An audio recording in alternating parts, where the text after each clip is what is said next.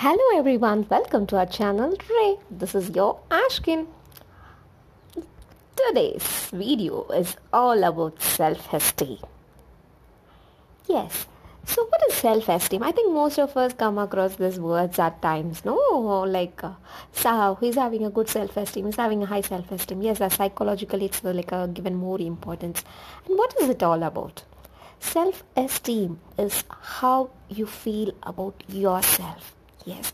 So the, what is your opinion about yourself? You know you have to love yourself first to love others is what is like a mantra we would say no? So it's always very important we have to love ourselves and we should have a opinion about ourselves okay so that is what we call it as self-esteem.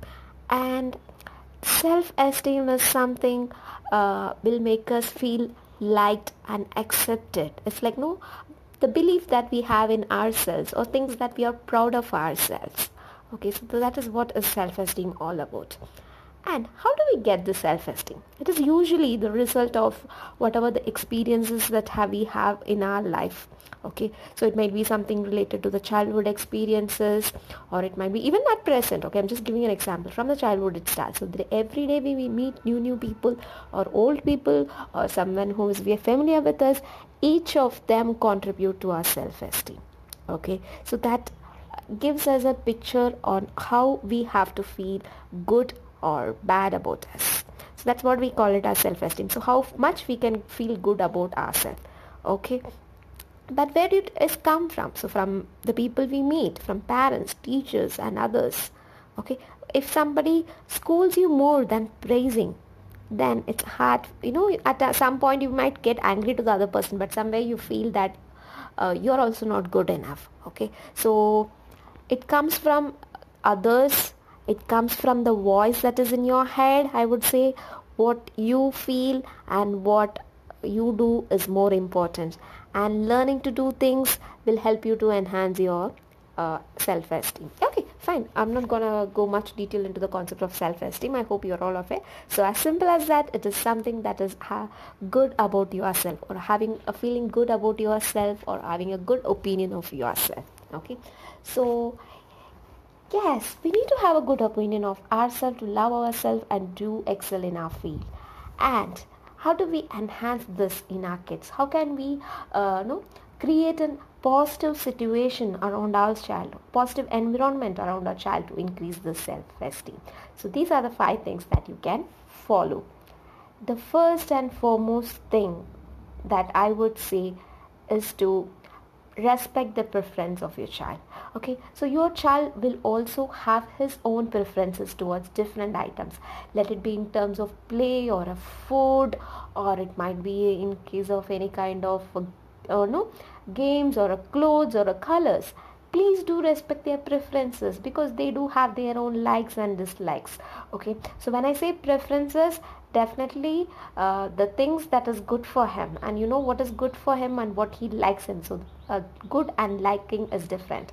Okay? What as parents what we mostly do is you know we select something which is very good for our child. But we do miss the aspect whether the child likes it or whether the child prefers it.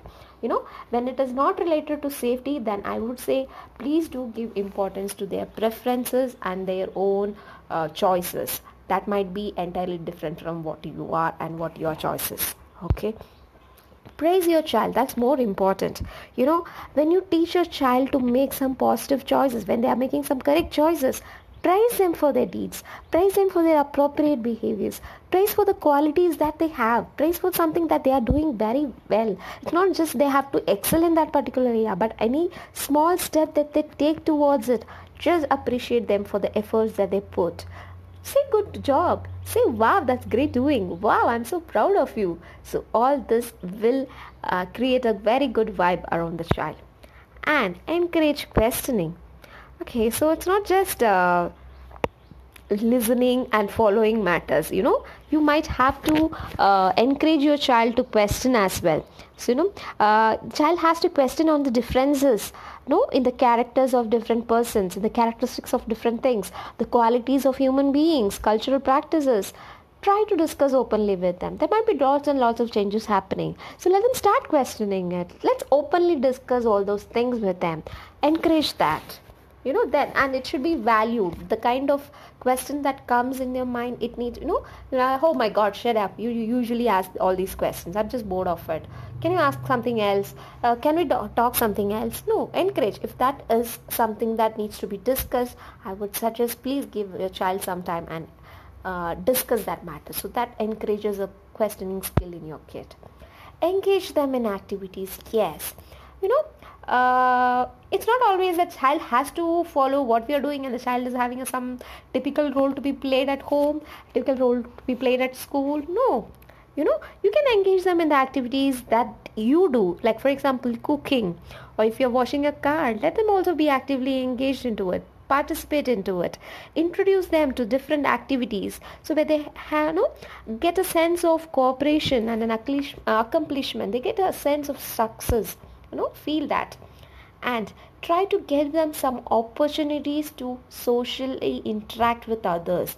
Okay so whenever you meet try to meet few people. Or when you try to see some people give them an opportunity to discuss. Let them greet them. Let them interact with them. So that this child understand there are like different people there are different uh, people around them they differ in different categories maybe the characteristics culture social things and all that. Okay so creating opportunities for the child to interact and make friends with people will always help them. So these are the small tips or small ways that you can teach a child to have a good self-esteem. And as I, was mentioning the good self-esteem will help the child to lead a very successful life so thank you for watching this video and please do like and subscribe our channel if you find this video useful. Press the bell icon so that you do not miss any ray from our channel. See you. Bye bye